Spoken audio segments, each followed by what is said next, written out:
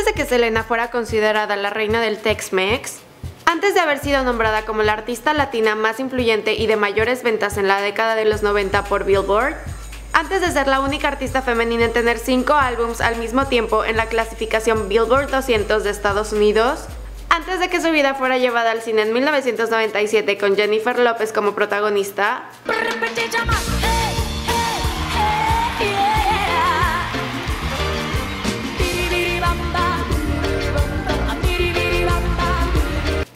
ser asesinada a los 23 años por la presidenta de su club de fans en 1995, justo cuando estaba en la cima de su carrera, Selena Quintanilla está catalogada como una de las artistas latinas más influyentes de todos los tiempos. También se le acredita el haber catapultado la música latina al mercado internacional. Y hasta se ha dicho que de no haber muerto su éxito hubiera sido tal que hubiera sido comparado con Madonna. Y esperen escuchar su historia de amor con Chris Pérez, Típico amor imposible de novela. Hola, yo soy Ailed y esto es Antes de que murieran, documentando la vida de Selena previa a su deceso. Este video es particularmente especial porque estamos recordando a Selena el día que hubiera cumplido 45 años de edad. Selena Quintanilla Pérez nació el 16 de abril de 1971 en Lake Jackson, Texas. Sus padres son Abraham Quintanilla Jr. y Marcela Ofelia Zamora, mexicanos que emigraron a Estados Unidos en la década de 1950. Es la menor de tres hermanos, Abraham Isaac Quintanilla, mejor conocido como A.B. Quintanilla, y Suzette Quintanilla. Cuando Selena tenía nueve años, su padre, quien había sido músico, vio en ella un talento especial para el canto, por lo que impulsó a sus hijos a formar una banda en la cual Selena sería la vocalista, A.B. estaría en el bajo y Suzette en la batería.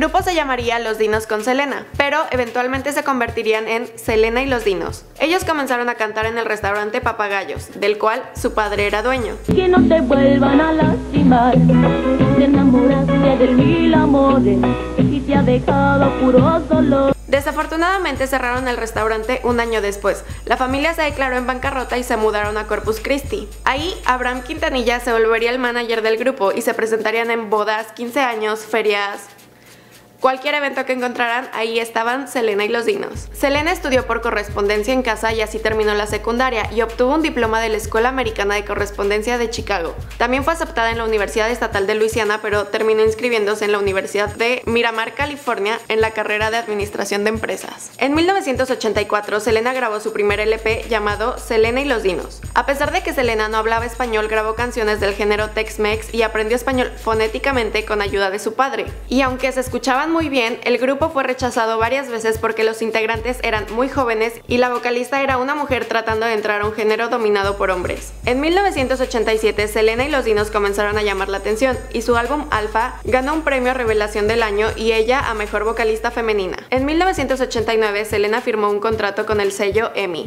y publicó su primer trabajo en octubre del mismo año. La canción principal Contigo Quiero Estar alcanzó la posición número 8 en Billboard en la categoría Hot Latin Songs. A partir de ese momento, A.B. Quintanilla se convertiría en el principal productor y escritor de la carrera de Selena. En 1989, la familia Quintanilla contrata a Chris Pérez para formar parte del grupo. Chris era guitarrista y él y Selena se enamoraron, y eventualmente se volverían novios.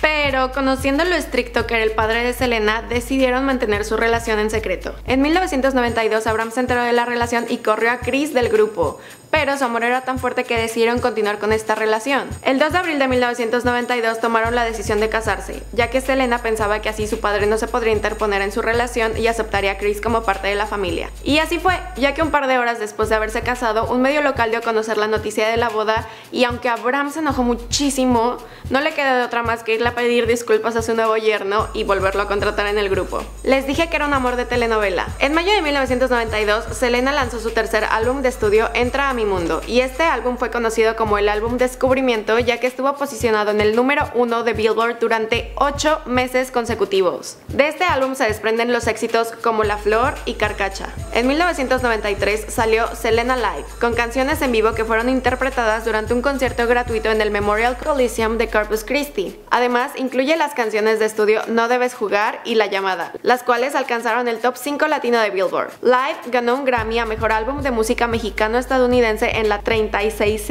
entrega de los Grammys. Live, Selena. En ese mismo año, Selena participó en la telenovela mexicana Dos Mujeres y un Camino, al lado de Erika Estrada y la tesorito Laura León. Y aunque solo apareció en dos episodios, estos rompieron récord de audiencia. Sí, sería muy buen espectáculo, pero ellos ya lo saben. No, pero ahorita se van a enterar.